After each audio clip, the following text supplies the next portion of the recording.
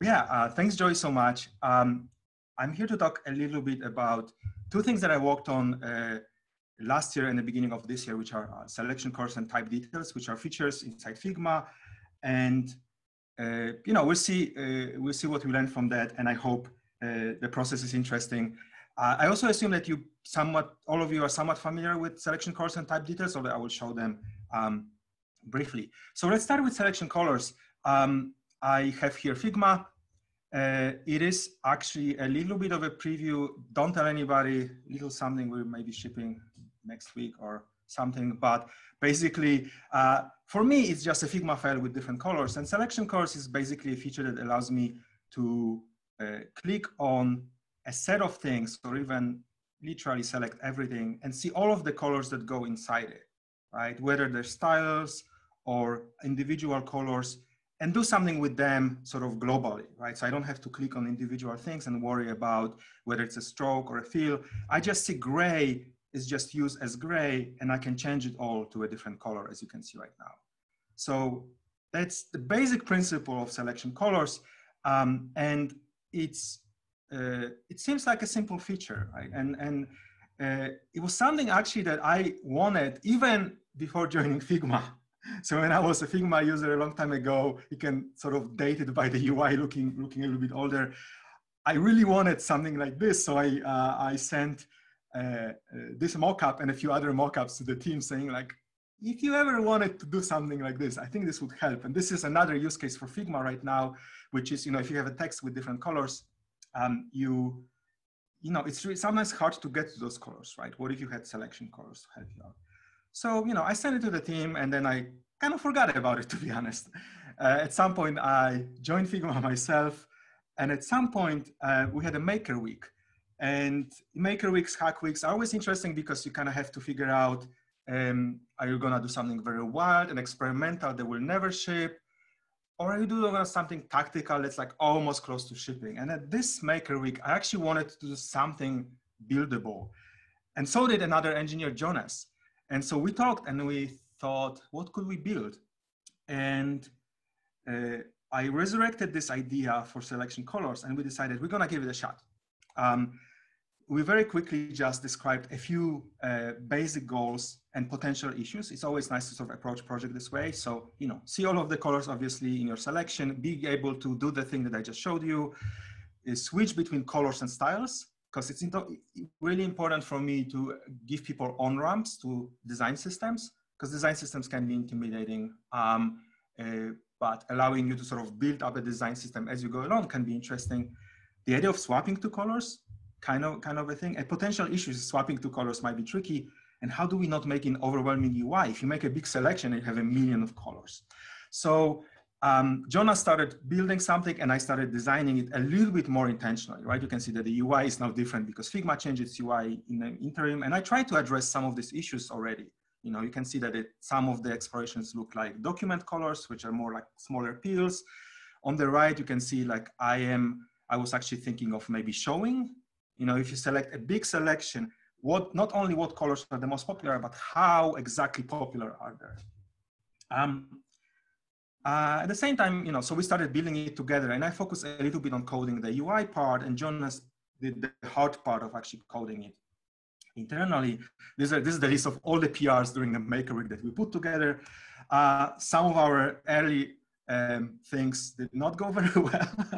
this is, turns out our color picker is very, very interested in showing up on the screen. So like when we just plugged it to selection colors, it started doing something like this, which was really funny. Um, um, and very quickly we realized we actually have a lot more to do than we signed up for. So one very quick question for you that we had to face is what to do with gradients.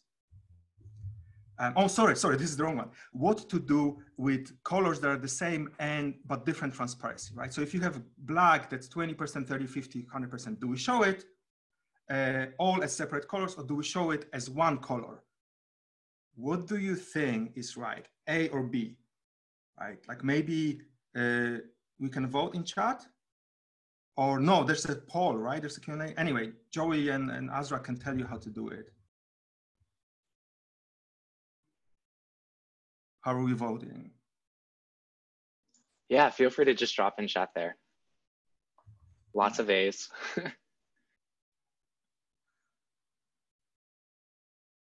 yeah, I'm really interested. Uh,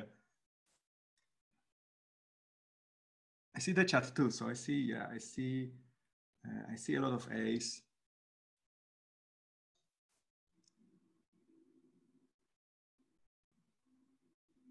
Couple B's. Okay. Yeah. Okay. I can see the case for B as well, says Sarah. Yeah. Okay, yeah. So I think it seems like A is most popular. I'm starting to warm up to B. Okay. you, so some people are going through the same um, set of emotions that we went through. Um, we were deciding, and at some point, you know, there's always this interesting part of the process where you you you have to think about it, but then you have to decide, right? And then you launch it or build a beta version, and then you you just live with the consequences and you change your mind. So we decided we're gonna go for B. Uh, uh, so that seemed to make more sense. And, and that particularly made more sense because if you have a tint, right, that it's 20%, 50%, 100%, that almost goes against the idea of selection colors if you show it three times, right? If we're supposed to simplify messing up with colors, um, uh, this my call at this moment was that we do it this way. Okay, but I have another question for you. What to do with gradients? It's gonna be the same thing. So if you have a gradient with three color stops, do we show those colors individually or do we show just gradients all together? Uh, again, I'm really curious, what do you think uh, is the right thing?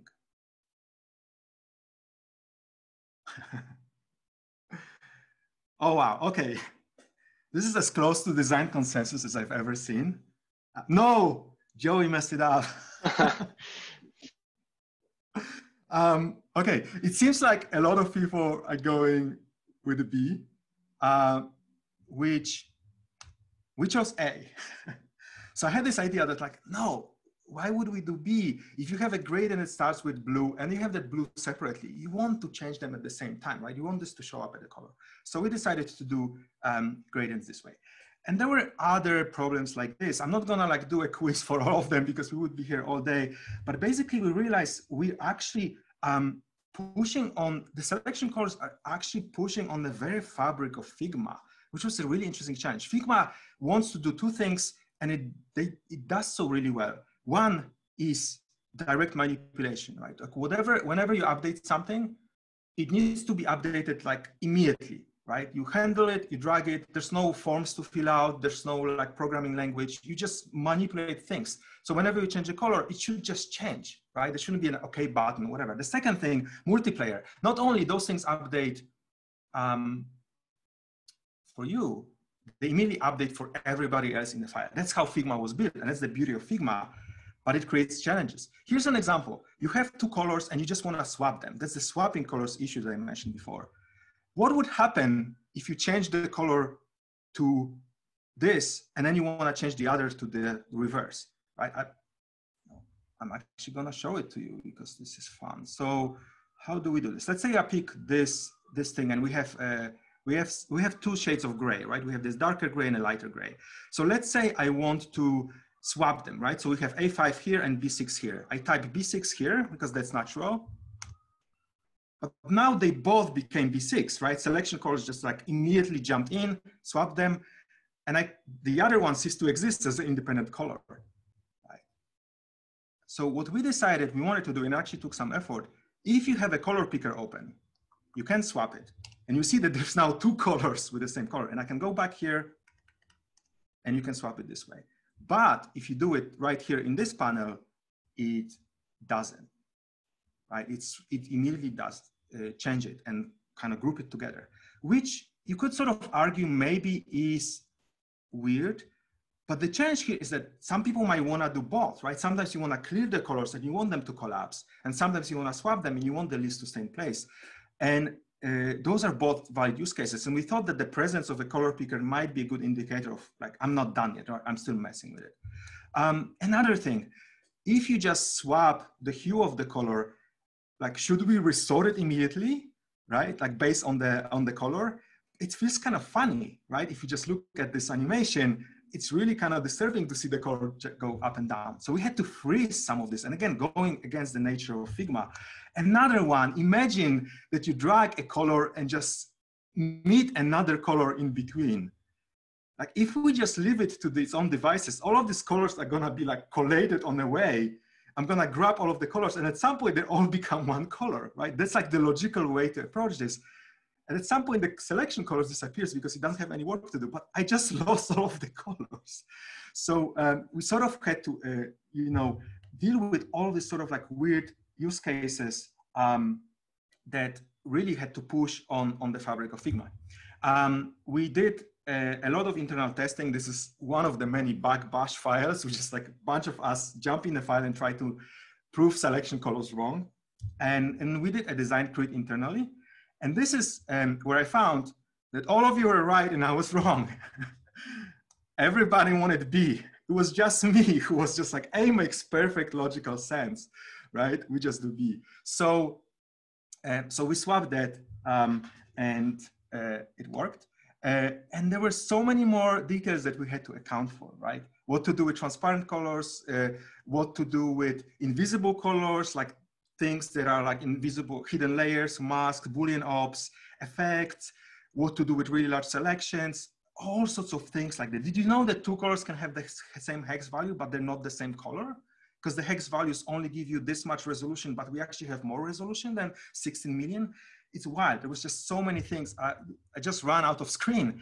Um, and there are also some things, as always, it was important to acknowledge that we did two things. One, we just decided to not do something that we wanted to do. We launched V1 without changing colors to styles and vice versa. We did it, I in V2. We had a little targeting icon to show you the frames. I'm not happy with that icon, but it seemed okay. And we didn't really, we, we explored so many different ideas. And we had this idea to like allow you to quick swap between two colors much more easily. You know, all of the things that I showed you, they're still a little cumbersome, but we couldn't think of a UI that wouldn't make it even more complicated. And the one other thing that I wanted to acknowledge that was kind of hard um, to figure out was this idea. In Figma, if you have a style and if you choose it, the pop-up appears here, right, right underneath. It's so easy and clear and close to the cursor. But in selection colors, let me select all of them. Um, we made it fly out on the side. And that is to be consistent, first of all, with selection colors, sorry, with colors, with a color picker. And second of all, it still allows you to see all of the selection colors. You have feedback on both sides, but it's really inconsistent, right? We chose to have, to prefer internal, sorry, local consistency over global inconsistency. We could have done the other way, I suppose. Um, and in general, I'm not very happy with it because it is a weird inconsistency either way. But I think like as with many of those projects, it's basically, we will try to fix it whenever we do a bigger overhaul of the whole UI, right? That seemed like the right place to just solve it systemically because we just made Figma do something we haven't thought of before. And we just walked ourselves into this interesting corner.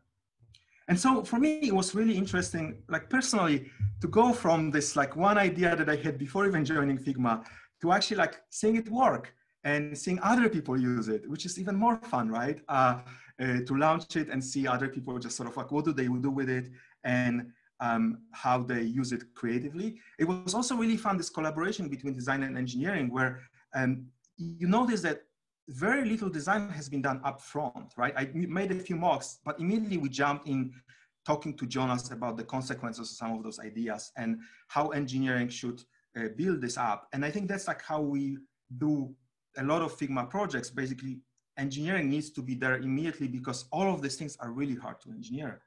Um, but I think like the, another thing that I realized actually during building of the project partly was um, how like selection colors, they, it just feels like the nice Figma, like the Figma way of doing things in a way that it's, you know, it couldn't be used for many things, right? Could be used to clean up your colors or lint them. Could be used for like quick explorations, upgrading to a style and vice versa, like break a design system if you want to upgrade it. Um, you know, you can find like find and replace colors. You can also use it for that. And, and you can use, like you can imagine like separate functions for all these things, right? You can imagine like separate UIs and menu items for all of these functions. And selection colors felt like the right kind of like it's powerful, but hopefully still simple. And you can combine to do all sorts of different things and probably a few things that we never thought about, right? And uh, that was like a really nice way to think about it. And I think a lot of Figma feels like, like a very powerful building blocks that you can master and use in, in, in powerful combinations. Um, so that's selection colors. And you know, I, I'm not really paying too much attention to chat, but we'll see. I'm curious if you have any more questions uh, and uh, do the little Q&A afterwards. And I'm curious how you use selection colors and what's missing still, or if some of my design decisions were wrong, right? We already learned that some of them were wrong, so there's probably more of them there. Uh, but I wanted to jump to the other thing we have for today, which is uh, type details. Um, that's something very, very important for me, uh, typography. And uh, this is um, an aspect of typography that I think has been sort of shortchanged for many, many years. So all of the fonts, excuse me,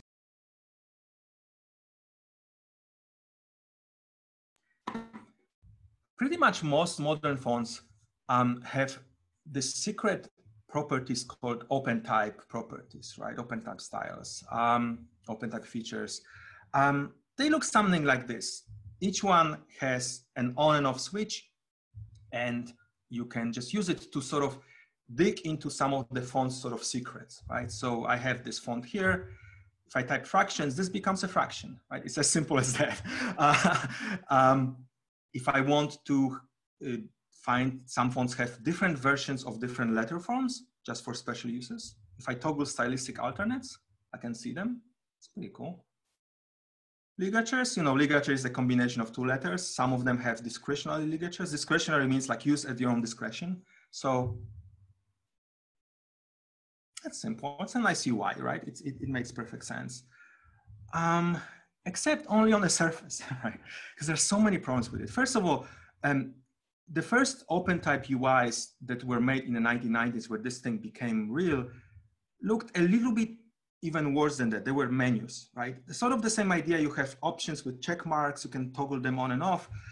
But the menu is like this kind of menu where you fly out multiple times and you click it and it closes and you have to fly out again. It's like, it's really cumbersome and it sort of really gets you out of the flow. And these are like the original 1990s menus, but this doesn't look like 1990, right? This is a modern UI. Some of them still look like this. Um, and that bothered me because this really takes the joy away from exploring a font. Um, and a lot of what we think about at Figma is like how to get you somewhere really fast and with a lot of fun, right, at the same time. Like selection colors hopefully allows you to do that. But there's also another big problem. Even if you have the checkboxes, which is arguably slightly better UI, like this is another font and it has the six OpenType properties. And I'm looking at it and I'm like, I have no idea what any of this is. Okay, tabular numerals, I think it's something to do with numbers, tables. Doesn't do anything.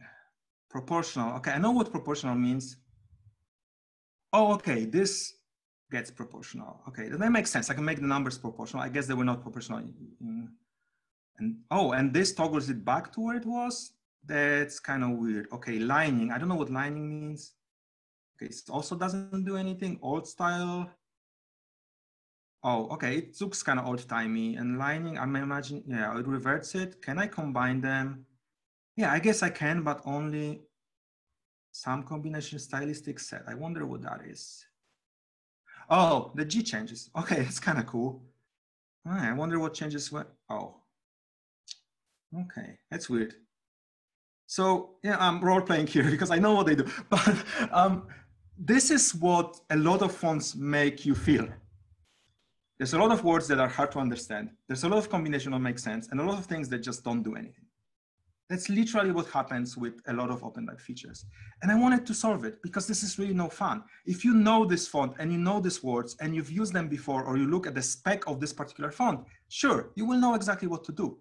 But most people don't do that a lot of people using Figma are not professional typesetters who've been on the job for 15 years and maybe actually studied typography and typesetting. A lot of people just, they're new to design. But why should we take the font, the fun of fonts away from them? So very early on, this was another Maker Week project. I didn't realize it until preparing for this talk. where I wanted to make a better UI. And this was my proposal. Um, so, you know, we have Figma here. Um, and by the way, uh, somebody will put all of these prototypes, we will share links to them.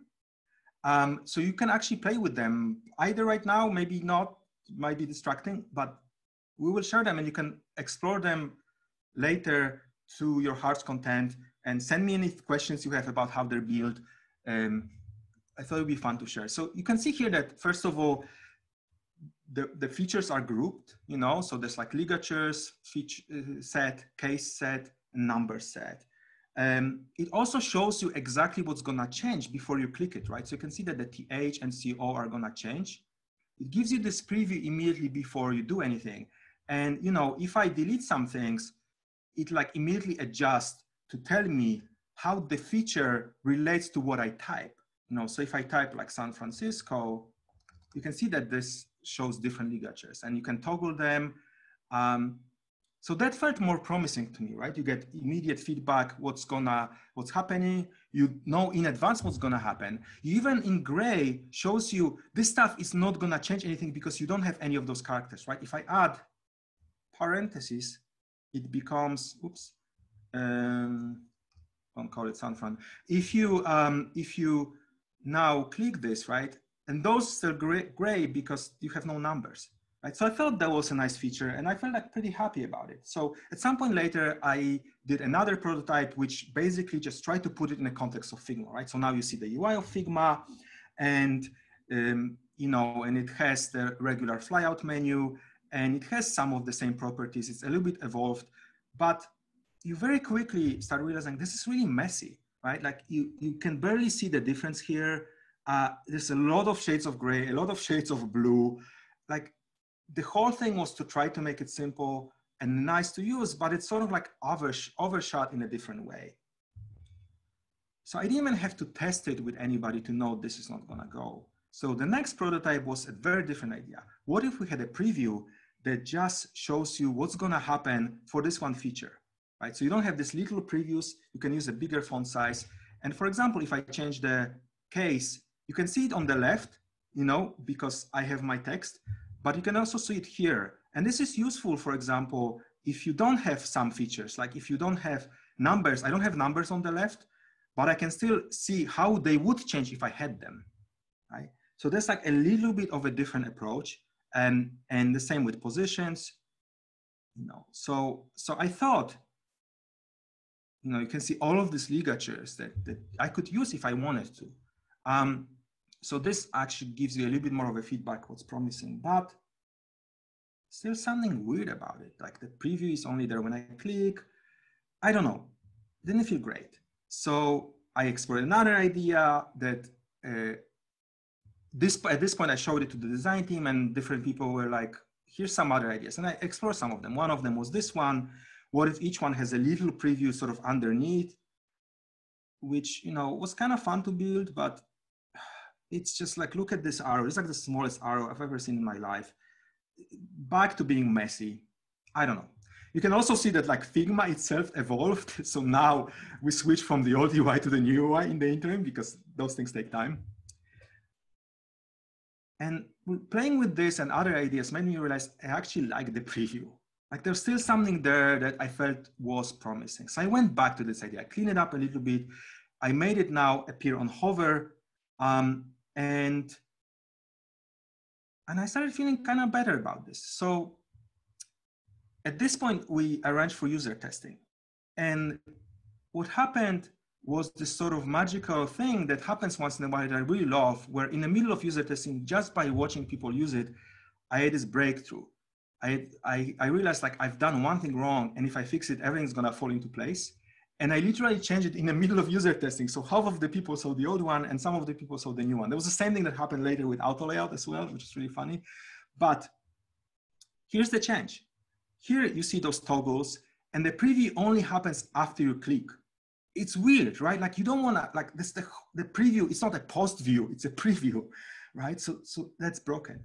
And I made this change so that you could have this toggle look a little bit different, and you can see what's going to happen before you even click, which seems super obvious in hindsight.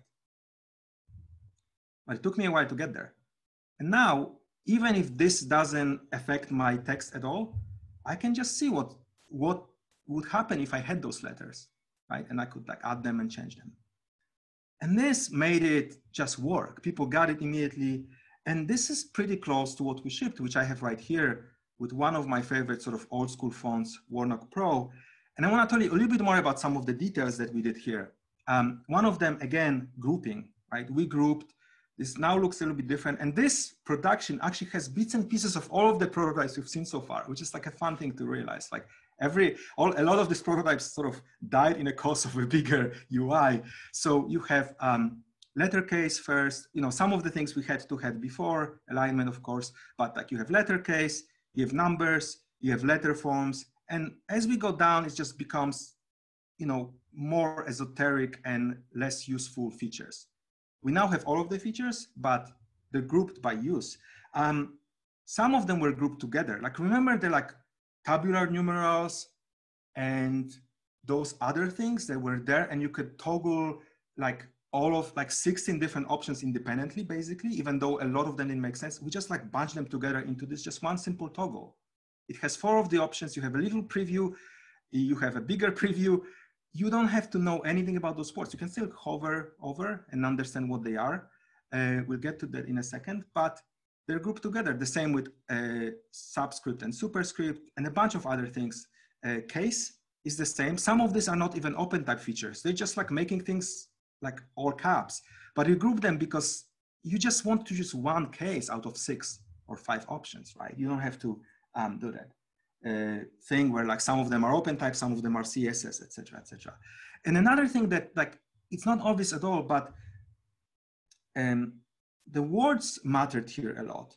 There's this whole idea that typography is filled with this esoteric, obscure words like even kerning or leading or widows or you know and you can celebrate them. It's fun to learn them. It's fun to be there and master typography. But they can also gatekeep right? They can also be like kind of like yeah you know what? Learn typography before you. You have to be this tall to write typography right? It's that's no fun and we wanted we spend a lot of time just thinking about like how do we name those things that in a way that's respectful towards the past but it just also looks towards the future towards like all of the people who will experience typography for the first time through figma so here, we call it small caps. We just call it like force small caps. We just force them for you. Hopefully that makes sense. We don't call them figures. We call them numbers, even though it might be technically inaccurate, right? Like technically it's not a font, it's a typeface, right? Like this, all of this debate. Let's just cut through all of this. Let's not worry too much about it, right? Some of this try to find the right balance between like this is proportional and monospace. They were never called monospace before. They were called tabular, I think. I don't even know myself we call them monospace because it's like a more, more common word. And we still use some of these like traditional words there as well for people who are used to them. Discretionary ligatures, eh, let's call them rare ligatures. Like rare is a word everybody understands. Kerning, let's call it kerning pairs, right? So it just hopefully makes it a little bit more approachable. The preview itself does a lot of work. You know, in many of those cases, it shows you exactly what's changing, you know, so all of these letters change when you use contextual swash. But in some of them, we choose the uh, preview for you. For example, with fractions, we just, this is a string that I just came up with um, because this tells you Warnock has a bunch of fractions, but not all of them, right? This gives you an extra bit of information. Um, for some of them, we just use the traditional thing with a little twist to give you a number because in the UI, numbers matter a lot. Um, there's even an Easter egg. I I think this is um, caffeine chemically. Somebody correct me if I'm wrong, and this is something scarier or weirder. Um, little Easter egg here.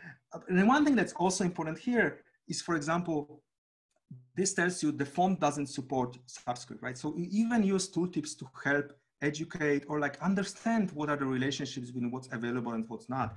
There's some apps that synthesize subscript or superscript or bold, you know, they just like bold it by hand uh, sorry, bolded sort of automatically. We don't do that. We can talk about where it's a right call or not. We only support subscript and super, uh, subscript and superscript if the font supports it. Now we're confessing to it because a lot of people were kind of confused um, about like, is it Figma? Is it the font? Who, who's to blame, if you will? Um, and the last thing I wanted to mention, um, this is not even called OpenType, right? We wanted to call it type details because it's just a little bit friendly. Like who cares it's OpenType? Like you don't have to know what format it is to use it. Um, and it also frees us to do more things in the future. Um, so, uh, so that's sort of the feature. Um, um and again, same stuff. Uh, some previews don't work for obscure fonts and we try to fix them for some, but at some point we just had to ship it. Fonts are really complicated. So in general, it's impossible to accommodate all of them. Variable fonts, I really wanted them and you can see them in some prototypes. We just had to wait until shipping in the future. Even character alternates, this first prototype that I had has even more features that I showed you. You can look at all of the things that are changing. And if you select something, you can see the alternate, you can swap it, and they're all cool features, right? Of course we want them but they would take forever and we have to do other things. And we also incurred some UI debt. The checkboxes they came up with are kind of weird. Like we've never used them before. And again, in UI, in, in the next future UI, we might change them so they're all kind of come together nicely. Right now, it's a little bit weird. Um, and a lot of details like with, with uh, selection colors that we had to do. Um, there's a rogue version of OpenType called AAT that I didn't even know about before we started building this the details of the hover interaction. Some fonts are so broken that they can hang your browser or your computer because they go into infinite loops. Like fonts are actually programming languages inside. It's wild. We had to solve all of this. And uh, we also like self-imposed limitations. Remember when I was mentioning like we don't want to make it too complicated.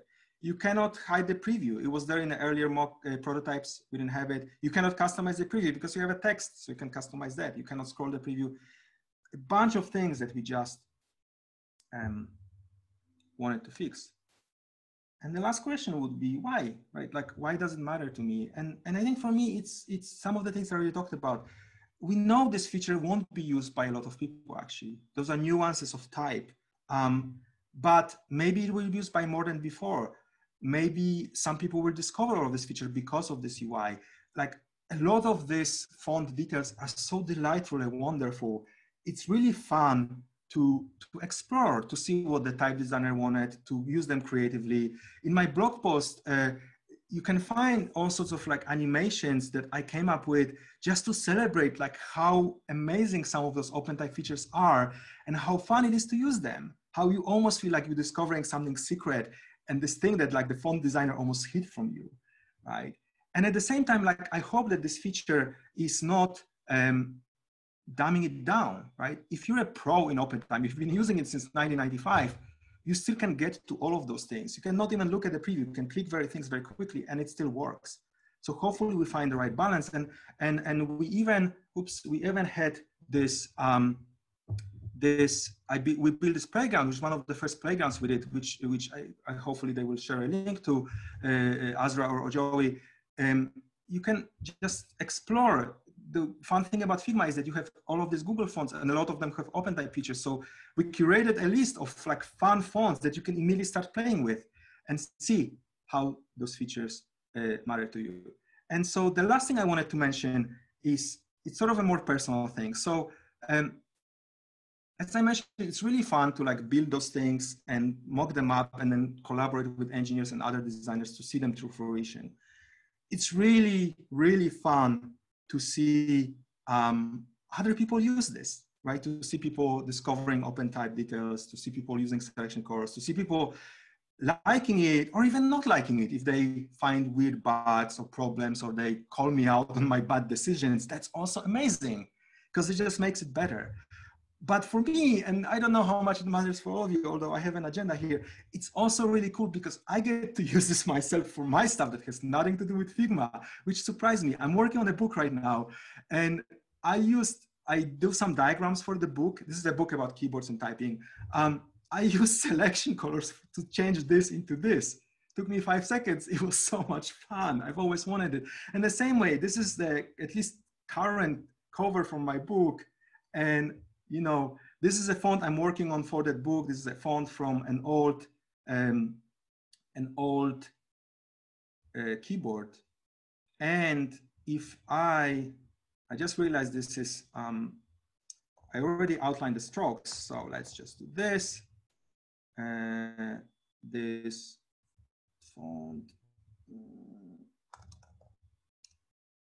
Here we go. So this is my font that I'm creating for the book. And if only I knew how to type, it would be even better. I heard it's useful skill when writing a book. And I have OpenType features in this font and I get to use it myself, which doesn't matter for any of you, but uh, you know, here's my book. Here's the same thing in print and here's the diagram. This is, this book is still a work in progress, but I can see this right now. It's really fun. And that's just like one thing that I want to highlight. If you ever consider working on a creative platform for other people, whether it's Figma or some other thing, I mean, please work at Figma. It would be fun to have you. I don't know, we're hiring, but anything else, it's also super fun to create canvases for other people to feel. And if you happen to be one of those people, it's also fun. So uh, thank you so much. This is all that I had for you today.